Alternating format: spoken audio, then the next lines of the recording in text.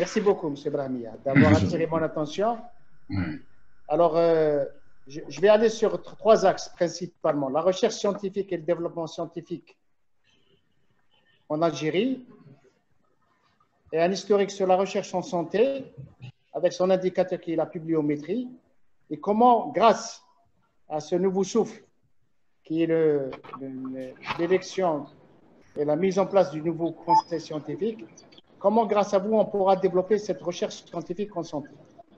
Alors, euh, mesdames et messieurs, honorables assistance, le conseil scientifique a une lourde tâche. La TRSS, la TRSS est un établissement public à caractère administratif. Sa ressource humaine est constituée majoritairement par des cadres administratifs. Et je tiens aujourd'hui à rendre hommage à cette composante humaine qui a pu m'accompagner depuis plus de trois ans et demi pour hisser la recherche euh, vers, vers le haut. Alors, par moments, ces cadres administratifs ont pallié par leur expertise et leur expérience pour euh, accompagner l'ancien conseil scientifique et pour essayer d'aller de l'avant. Ceci dit, le conseil scientifique a été institué pour parer à ce manque d'experts conseillers au niveau de l'agence. Donc les missions les missions de prospection, de programmation et d'évaluation permanente sont actuellement confiées à ce conseil scientifique. À ce titre, le conseil scientifique est le conseiller expert par excellence de l'agence. Vous avez une lourde tâche qui est le conseil et l'expertise par excellence de l'agence.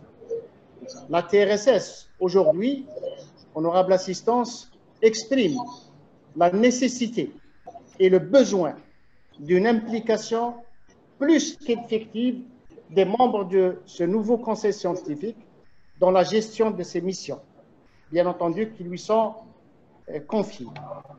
Alors, euh, je vous renvoie au texte qui a été promulgué en, août 2019 euh, qui, régit un petit peu les missions et, les attributions du conseil scientifique.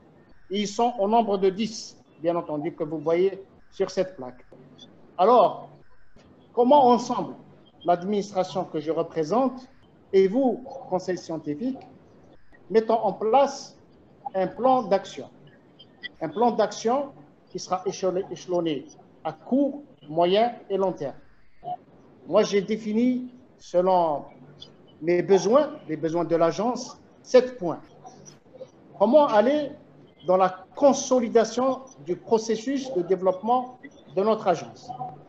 Comment aller sur une nouvelle dynamique de la gouvernance avec son triptyque rationalisation et mutualisation? Comment impliquer, impliquer la recherche scientifique dans le développement socio-économique? Et ça, ça revêt, ça revêt pour euh, le département ministériel que je représente aujourd'hui, par le biais de la recherche scientifique en santé, un, point extrêmement important. C'est pour cette raison que le conseil scientifique a été enrichi avec des entités euh, socio-économiques. Comment réhabiliter l'éthique, la déontologie et les valeurs scientifiques de nos chercheurs?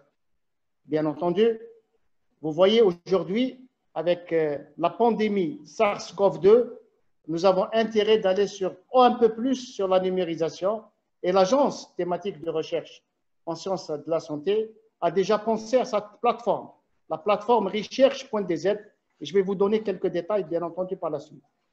Pour aller vers l'avant, de l'avant, il ne faut plus rester cloisonné et cloîtré à l'échelle nationale. Il va falloir qu'on recentre recentre notre coopération à l'international pour essayer d'avoir tout ce qui est développement technologique et de se confronter à des expertises et des experts à l'international.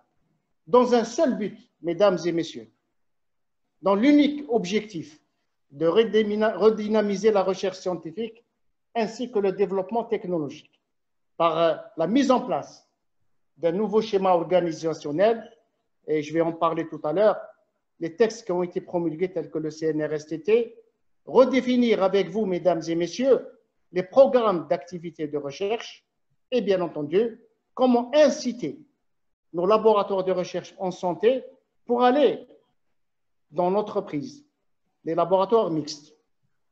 Voici, euh, d'une façon sommaire et rapide, notre plan d'action que j'ai étudié.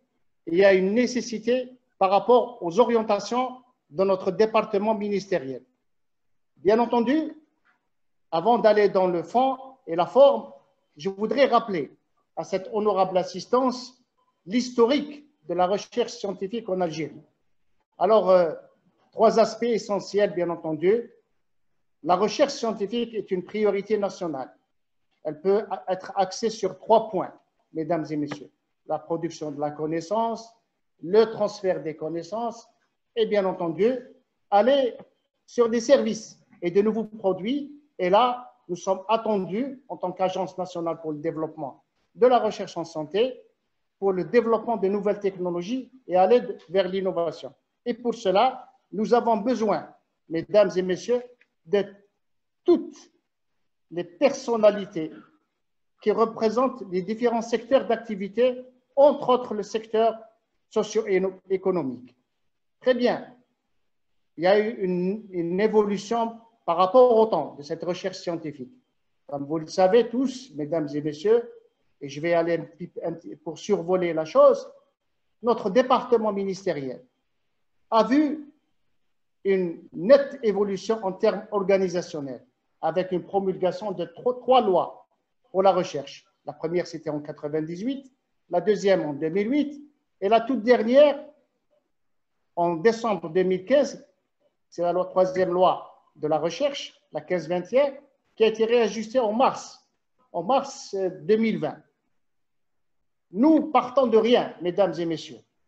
Je suis convaincu, je ne vais pas parler avec la langue de bois aujourd'hui, je dois vous donner une vision précise et concise des choses. C'est que l'Algérie, la recherche scientifique, mesdames et messieurs, on ne part pas de rien. Nous avons des compétences qui existent. Nous avons des structures de recherche. Nous avons des infrastructures. Nous avons une production scientifique. Nous avons eu des équipements et nous avons eu des financements. Donc, nous avons aujourd'hui la possibilité d'aller sur des, priorités qui seront définies, bien entendu, par,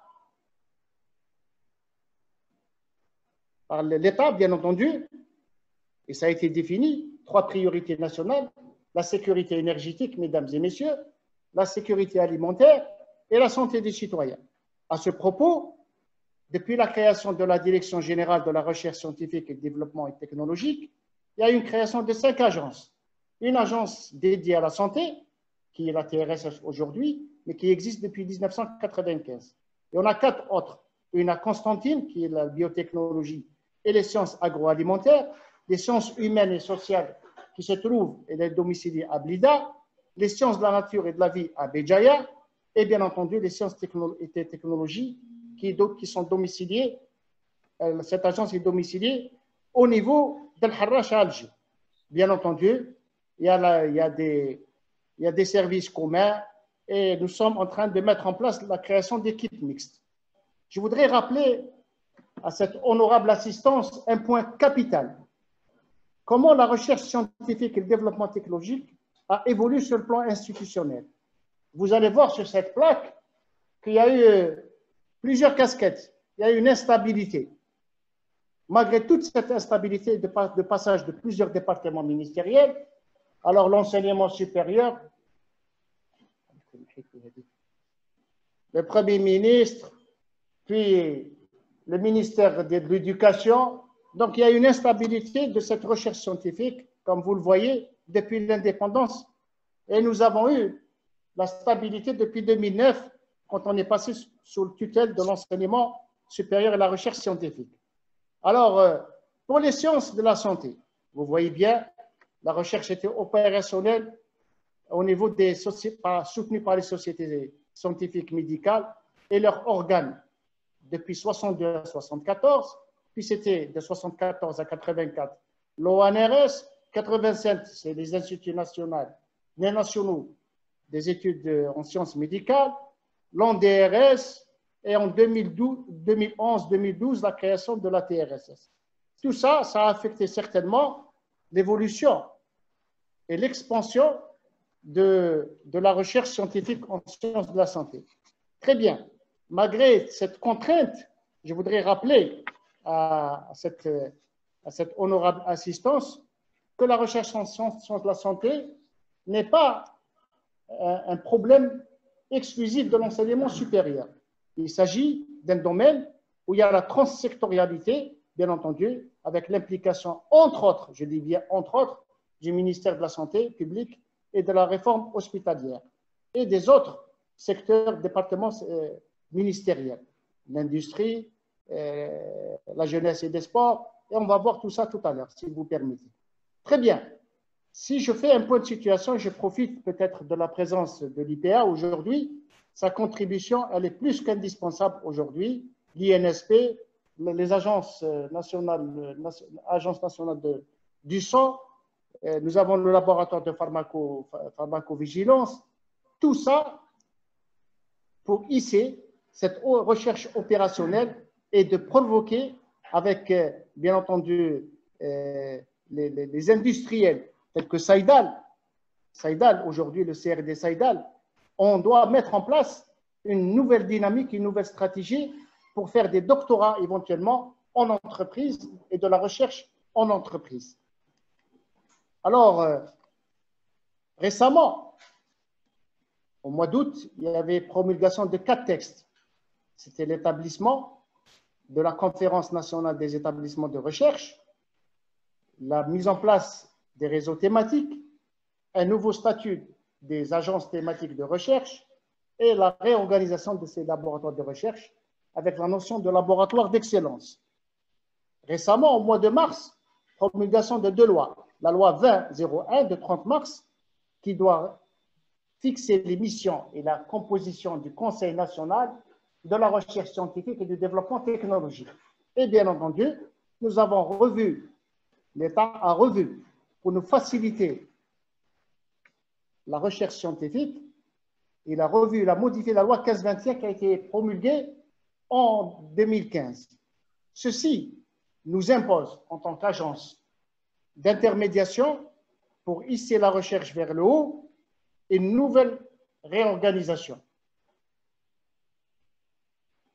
Nous devons répondre à des besoins. Y a des exigences pour l'administrateur que nous sommes et pour le conseil scientifique que vous êtes. Et ça entraîne des obligations par rapport à des besoins. Alors, voici un petit peu ce nouvel édifice où l'agence thématique que vous voyez au centre devient une agence d'intermédiation pour gérer au mieux, bien entendu, la, cette, gouvernance, bien entendu. Alors, euh, je vous renvoie à ces lois pour, euh, pour essayer d'aller dans le détail, pour aller vite un petit peu. Je voudrais rappeler un détail très important. C'est pour la première fois, c'est pour la première fois que la recherche scientifique et le développement technologique a été invité à un conseil interministériel. Et c'était au mois de, euh, le mois d'octobre 2019. Et on a exposé tous les produits issus de la recherche. Il y a une prise de conscience de l'État algérien pour dire que la recherche est plus que nécessaire. Elle est indispensable. Alors, j'en ai fini pour l'évolution de, de la recherche scientifique et développement technologique. Je vais faire un petit zoom, si vous permettez, sur la recherche en sciences de la santé en Algérie. Très bien. Euh, vous connaissez que la priorité aujourd'hui, la priorité, c'est la promotion de la santé et de l'industrie pharmaceutique. C'est pour ça que l'arrêté, l'arrêté qui a été promulgué en août pour la gestion des ATR, des agences thématiques de recherche, il y a une, une diversité de, de, ses membres. Et vous voyez bien qu'il y a le, le secteur économique, socio-économique est présent, ainsi que nous ne faisons jamais dans l'exclusion, il y a eu la participation de la communauté scientifique algérienne qui réside à l'étranger.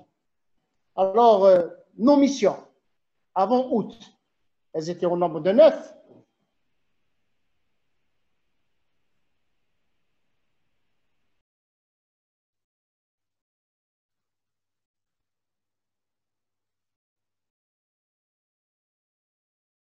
À 16 plutôt. Donc, on est passé du simple au double.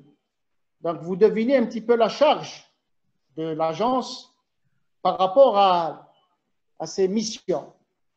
Donc, vous, vous imaginez un petit peu que la feuille de route et le plan d'action va être revu par rapport à ces nouvelles missions qui sont attribuées à l'agence sur le plan scientifique et en conséquence, bien entendu, les, missions du conseil scientifique. Avant d'aller dans le détail, je voudrais faire une petit, petite mise au point. Une petite mise au point concernant le bilan de la TRSS depuis plus de deux décennies et c'est le parcours de la TRSS euh, au service de la santé. Alors, si je vais sur les programmes nationaux de la recherche en santé, depuis 1996 à 2017, et si on prend en considération la loi qui a été promulguée en décembre 2015, elle a fixé cette loi 40 objectifs, parmi lesquels deux nous intéressent plus particulièrement, c'est le développement et la promotion de la santé et bien entendu le développement de l'industrie pharmaceutique. Et je suis heureux aujourd'hui que Saïdal et Biopharm font partie de cet honorable conseil scientifique. Donc, vous devinez un petit peu la suite de mes idées. Alors, si je fais une rétrospective ou une chronologie de ces 20 dernières années, si je prends les 20 ans, nous avons reçu plus de 1700 projets de recherche et nous avons agréé plus de 911. Et vous voyez bien sur cet histogramme que la TRSS a financé 911 projets de recherche sur un total de 1700. Si on fait une analyse profonde de, ces projets, on comptabilise plus de 3600 chercheurs qui ont été mobilisés dans ces projets et vous voyez bien la répartition par grade hospitalo-universitaire ou simplement hospitalier, bien entendu, et même les autres, les autres euh, spécialités euh, ingénieurs.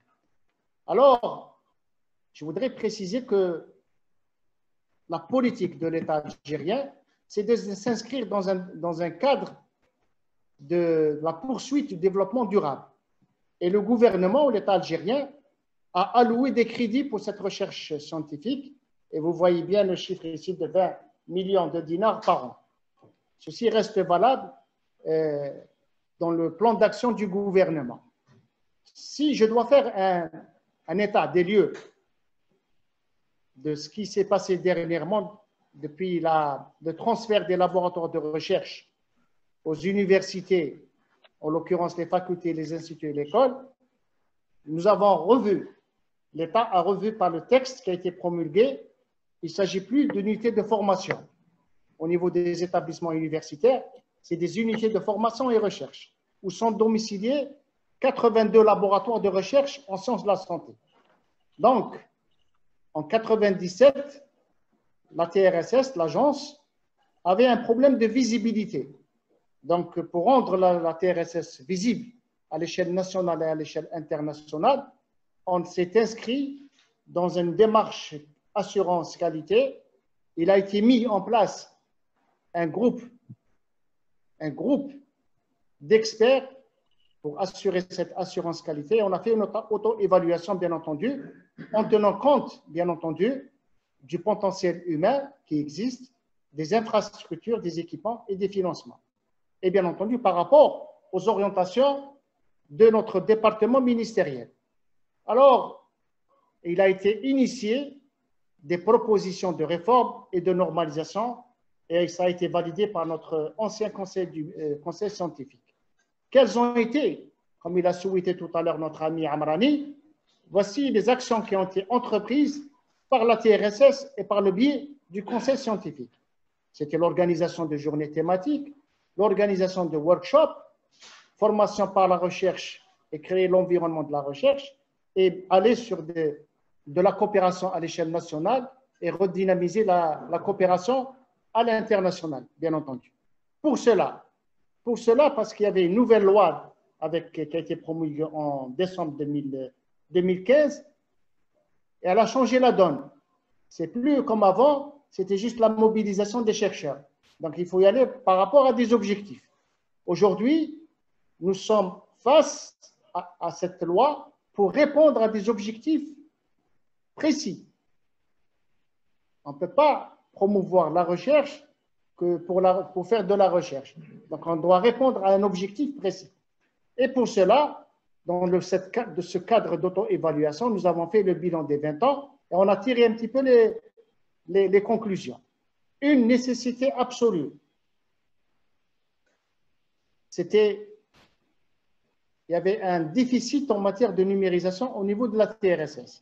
Et il a été décidé, grâce au conseil scientifique, après cette auto-évaluation, pour mettre en place une plateforme recherche.dz avec ses annexes, une plateforme de recherche en sciences de la santé et une plateforme de gestion des laboratoires et des projets de recherche.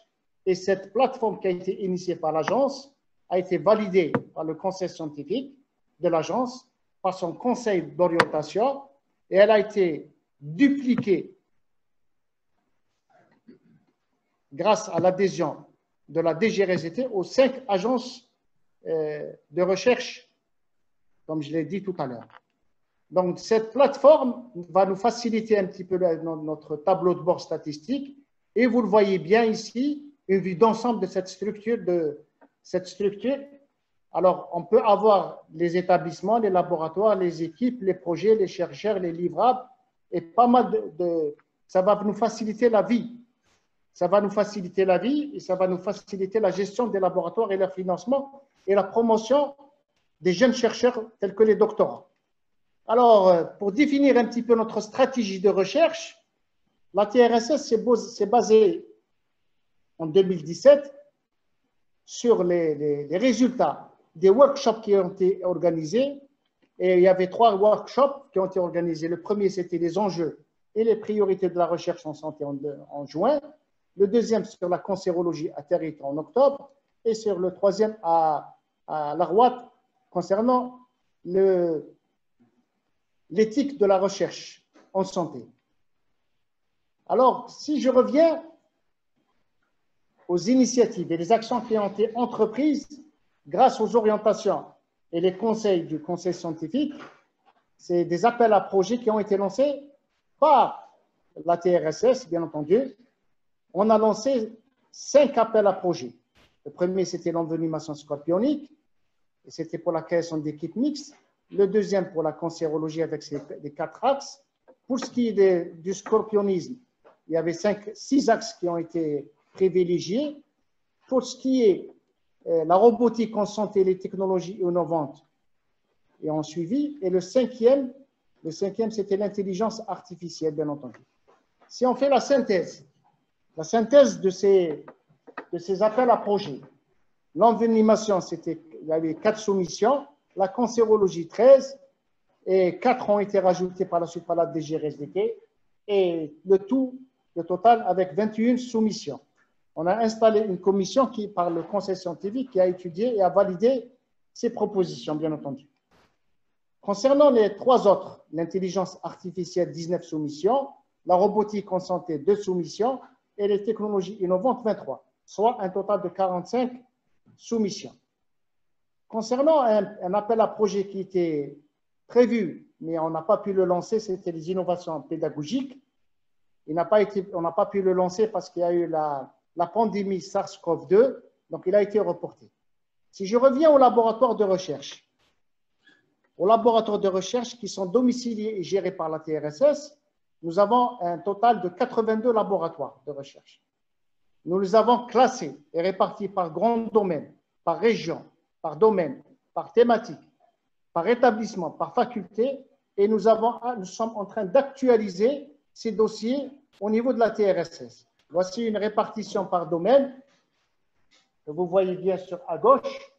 En médecine, nous, nous dénombrons 61 euh, laboratoires. En informatique, 2. Et en biochimie en génétique, 8. En dentisterie, 4. Et voici la répartition à droite par région. Donc, il y a une répartition équilibrée par région. Par contre, il y a un point que je dois noter. Comme ces laboratoires de recherche étaient gérés, mesdames et messieurs, par la DGRSDT, nous sommes en train de compléter leurs dossiers. Et vous voyez bien qu'à peu près un quart des dossiers sont complétés au niveau de l'agence. Grâce à la numérisation, le PDRS, le PGLP et le recherche.dz, ce problème sera vite évacué dans les meilleurs délais quand on aura notre plateforme qui sera fonctionnelle sous peu. Voici une répartition des laboratoires de recherche par rapport aux autres. Nous sommes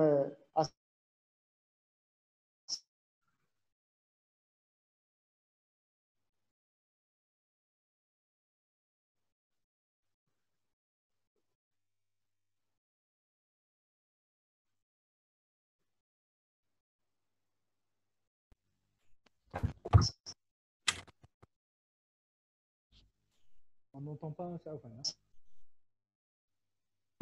On n'entend plus rien. il n'y a plus de son. Il n'y a plus de son.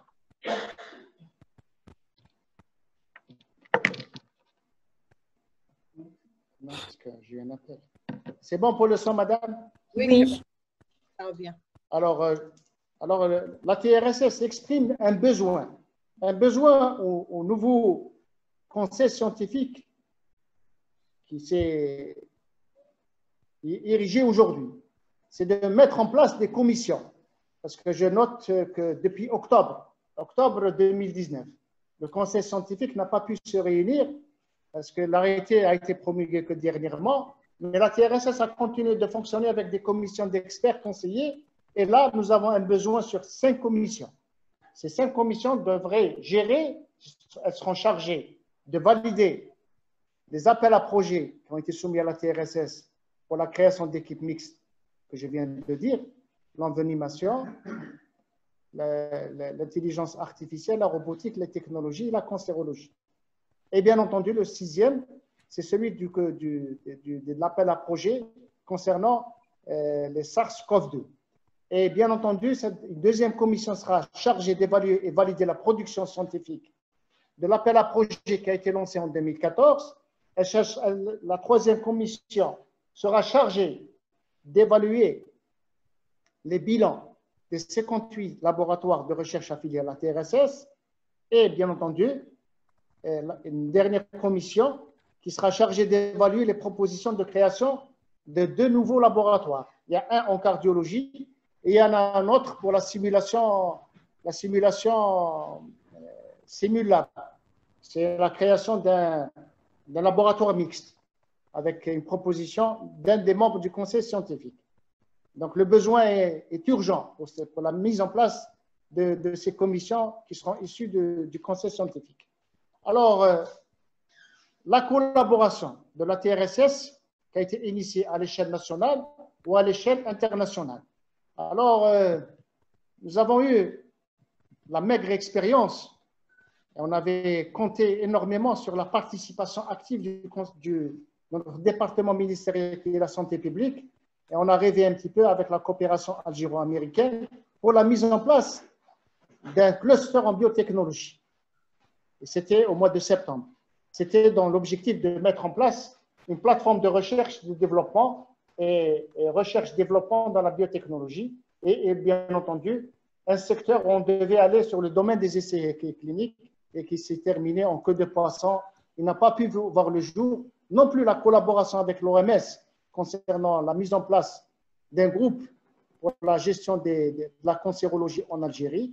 Par contre, avec euh, la coopération euh, chinoise, grâce à, deux Algériens qui ont breveté une molécule à l'international dans le domaine de la médecine de précision, nous avons pu faire la, on a pu intégrer cette nouvelle, ce transfert de technologie. C'était un, projet très ambitieux avec la mise en place d'une plateforme R&D de radiopharmacie, avec la collaboration de radiopharmacie euh, avec l'université de Tlemcen pour la nanotechnologie, les nanogaines technologies pour la nanomédecine, pour les tumeurs solides euh, avancées, un stade avancé. Une, cinquième coopération à l'international avec les laboratoires FITS, c'est pour la médecine de précision, l'agriculture de précision, deux domaines prioritaires en Algérie avec les Allemands qui concernent la biotechnologie pour la médecine de précision. Alors, au jour d'aujourd'hui, la TRSS ne s'est pas arrêtée à ces cinq euh, initiations avec euh, l'international. Elle continue à étudier la possibilité de coopération avec l'Académie française de médecine par le biais de la conférence des doyens des facultés de médecine et par le biais de la direction générale de la formation des enseignements euh, supérieurs du ministère de l'enseignement supérieur. Et à ce titre, je voudrais saluer tous les efforts qui sont consentis par mon ami, le professeur Kleba Souhi. Entre autres, l'agence a réactivé dans un cadre d'échange gagnant-gagnant avec l'INSERM en France et grâce à la disponibilité et toutes les dispositions qui ont été prises par Madame le professeur Hamitosh, membre du conseil scientifique et sous l'égide de la DGRZT.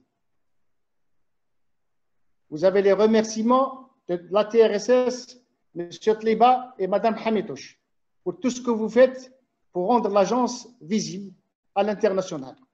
Alors, en matière de collaboration nationale, la TRSS, elle est engagée au jour d'aujourd'hui avec les laboratoires Pfizer, avec les laboratoires Pfizer Pharma, pour concrétiser une action scientifique qui est destinée pour les jeunes chercheurs et pour mettre un écosystème pour la recherche scientifique. Et bien entendu, la TRSS vient de signer, je suis désolé pour euh, la faute d'orthographe euh, signée, entre la TRSS et le Centre de recherche pour les technologies industrielles et qui concerne les technologies innovantes en santé. J'invite, j'invite, je vous invite, mesdames et messieurs les membres du conseil scientifique, à soutenir et à valoriser l'Algerian Journal of Health Science, qui était au départ une initiative timide. C'était juste un journal de vulgarisation et d'information. Au jour d'aujourd'hui, l'ancien conseil scientifique, et je tiens à rendre hommage à notre ami, le professeur Merit Boumediene, pour, pour tous les efforts qui ont été consentis, et surtout à M. Bouziani, qui n'a ménagé aucun effort pour hisser ce journal vers le haut et de passer d'un journal d'information à un journal qui va être sur la plateforme IGP et on est en train de refixer la barre pour être dans la catégorie B. Donc le conseil scientifique est invité à faire une publicité et inviter les chercheurs et experts pour publier dans notre journal qui est le vôtre. Je voudrais que le conseil scientifique, mesdames et messieurs, qui soit le représentant de la TRSS, il représente chaque membre du conseil scientifique doit être le représentant de la TRSS dans son environnement. Je voudrais que les membres du conseil scientifique recensent les experts et les chercheurs qui apportent un plus dans le domaine de la santé pour qu'ils nous remplissent et nous apportent un appoint pour les compétences qui doivent être recensées au niveau du département de la TRSS. Et bien entendu, grâce à vous, mesdames et messieurs, nous ne, pouvons, nous ne pourrons jamais développer ce domaine qu'avec vous, en relation avec chacun son profit et dans son domaine. Alors, un indicateur. Un indicateur, certains pessimistes vont dire qu'il n'y a pas eu une nette amélioration et pas de progression de la bibliométrie en sciences de la santé. Donc, c'est pour ça qu'on n'est pas visible. Je vais faire une mise au point sur la production scientifique de la TRSS depuis 1997 à 2019. Plus de 2173 articles, plus de 4000 communications nationales, plus de 2000 à l'international. Et vous voyez sept brevets. Sept brevets qui sont recensés au niveau de la TRSS. Alors, si je prends le Web of Science, si je prends le Web of Science, c'est l'excellence, c'est la bibliométrie par excellence. En 1966, une publication. En 2018, à peu près 700. Et ça monte de façon exponentielle. Je ne parle pas du, euh, du Scopus. Je ne parle pas de Scopus. Je parle publication d'excellence au niveau de Web of Science. Si je prends le type de publication, vous voyez bien que c'est beaucoup plus les articles sont suivis par la suite les meetings abstracts. Alors, si je prends le nombre de publications par domaine, selon le Web of Science, vous voyez bien que c'est la biologie moléculaire, l'oncologie, l'hématologie, l'infection des sizes et bien d'autres, bien d'autres domaines. Donc, il y a à faire. Il y a à faire et on ne part pas de rien.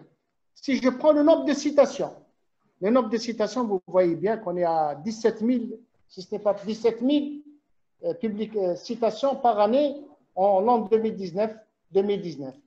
En 72, nous étions à 1. Donc, depuis 96, ça monte de façon exponentielle. Si je prends le nombre de publications par auteur, les auteurs algériens, hein, vous voyez bien qu'on n'a rien à envier par rapport aux Marocains ou par rapport aux Tunisiens en matière d'impact factor. Et bien entendu, nous avons la chance d'avoir avec nous, dans ce conseil scientifique, Madame Zaidi Zoubida, que je salue chaleureusement. On devrait être dans les 14 000, Madame Zaidi. Oui, bonjour. Rebonjour, Madame. Donc, j'aimerais, par, votre biais, par votre biais, on devient encore plus visible. Inch'Allah. C'est le défi à relever. Très bien. OK, OK. Merci beaucoup, Madame Zaidi. H-index. شوف اللهم صل على النبي راه مسطرين زايدي زبيده 32 بوعجاب بكر 28 c'est à titre, à titre indicatif c'est par exemple je n'ai pas cité tout le monde très bien aujourd'hui j'ai fini avec l'historique de la recherche scientifique et de développement technologique. J'en ai fini avec le, la recherche scientifique en sciences de la santé.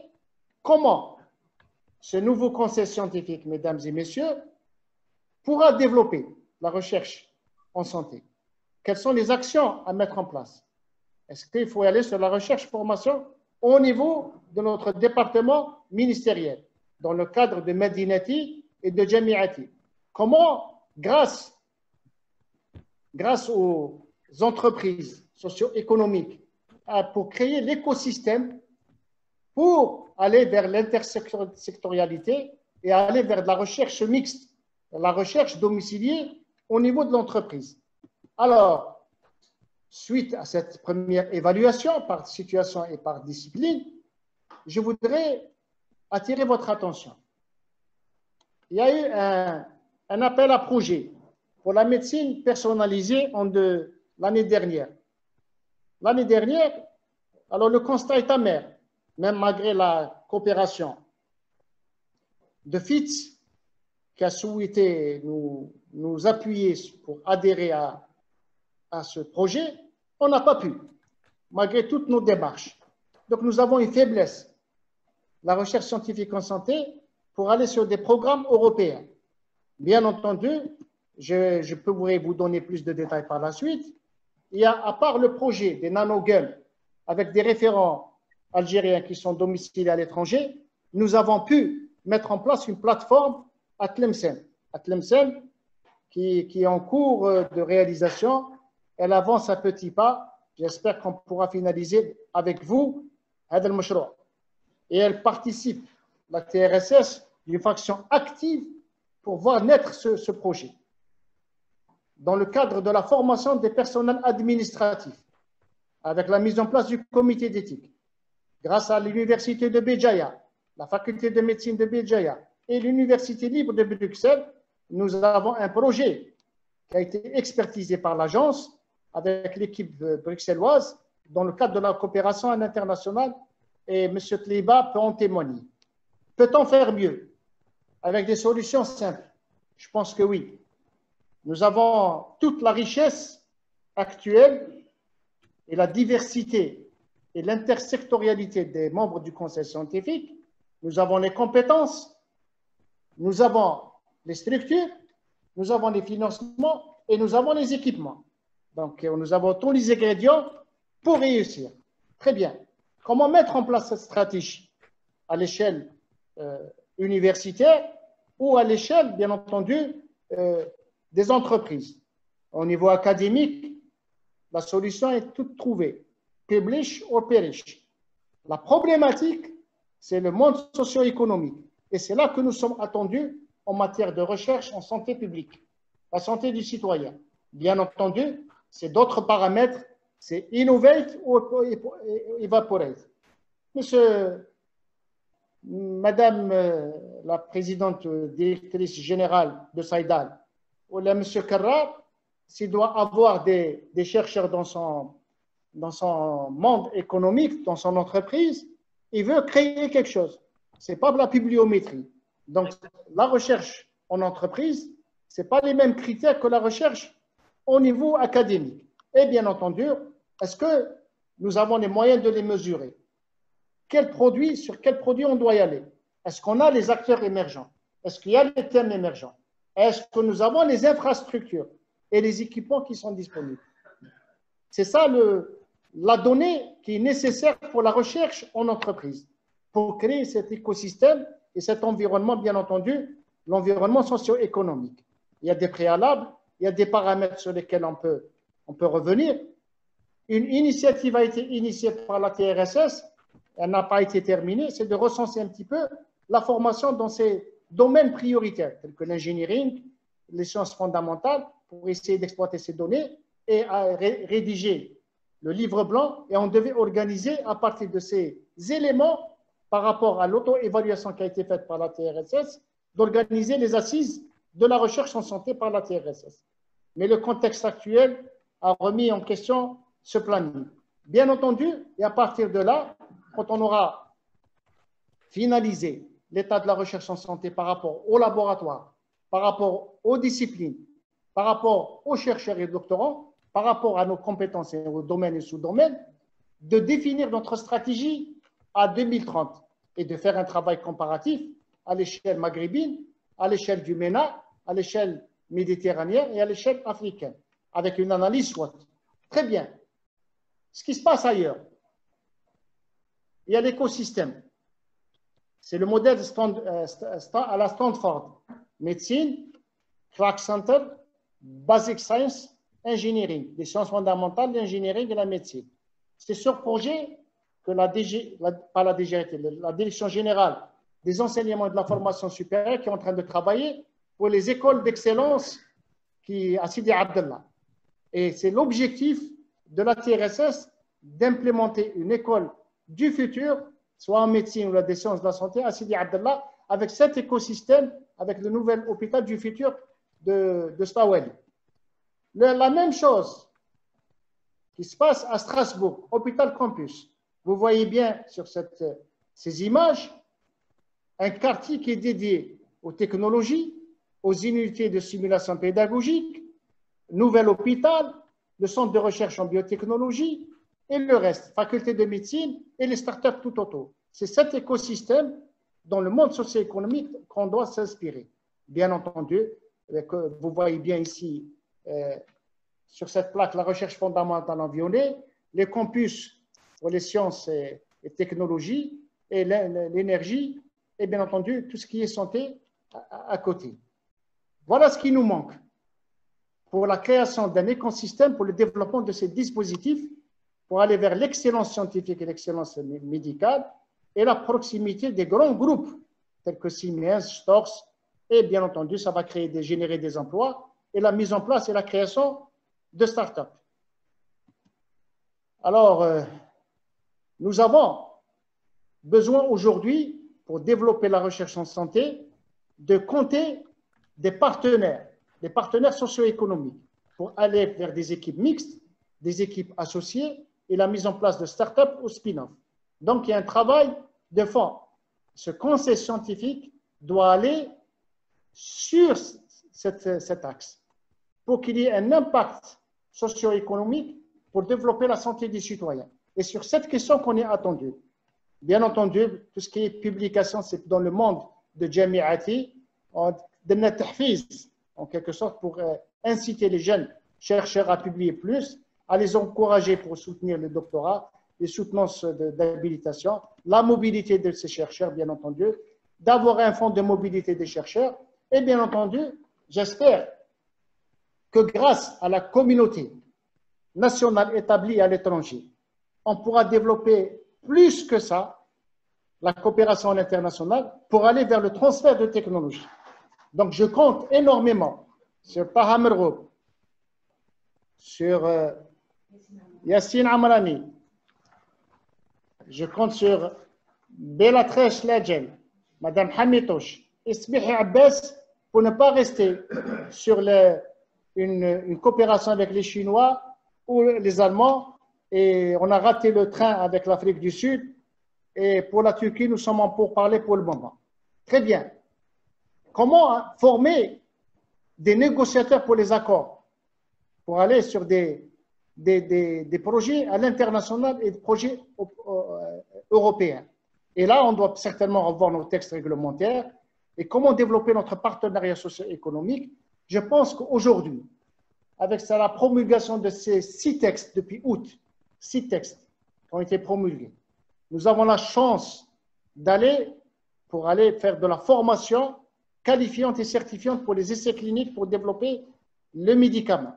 On doit recenser grâce à, la participation active des membres du conseil scientifique, à recenser les, multinationales avec qui on peut créer des, des ponts, ou les, les partenaires nationaux?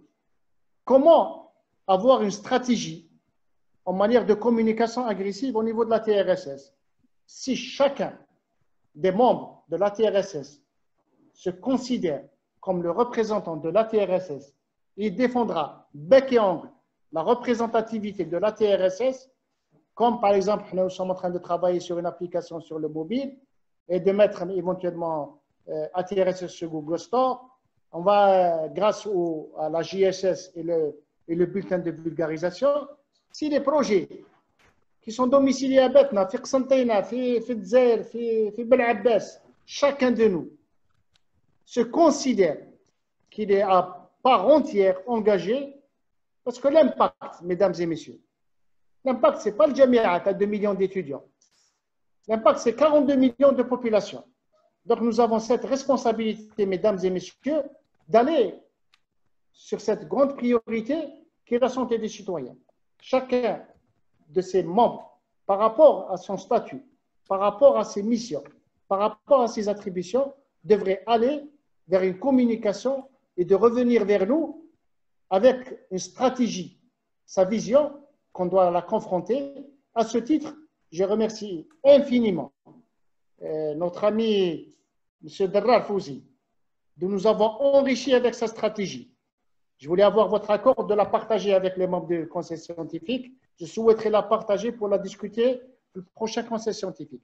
Et j'invite les membres du conseil scientifique à faire pareil et de nous transmettre à partir de ce bilan et à partir de cette rétrospective et cette perspective de développement de, l'agence.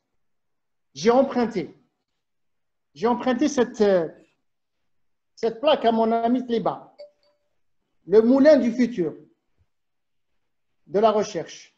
Il est axé sur la recherche, sur le soin, sur le transfert des connaissances et la formation. Je voudrais aller sur le volet recherche. Les médicaments, les, équipements, les diagnostics et le monde de la donnée, les big data. Le soin, la, vision des soins à l'indépendance n'est plus valide aujourd'hui. On était sur une médecine thérapeutique, nous sommes dans une ère de la médecine préventive, la médecine personnalisée.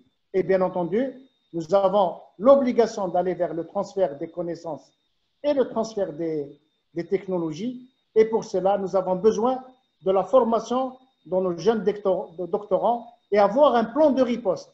Vous voyez bien qu'aujourd'hui, avec euh, la pandémie SARS-CoV-2, où nous sommes, nous avons intérêt, nous avons intérêt à engager tous, comme on est, l'effort d'aller vers la recherche. C'est l'unique issue, pour protéger ce privilège qui est la santé des citoyens. Je vous remercie de votre attention.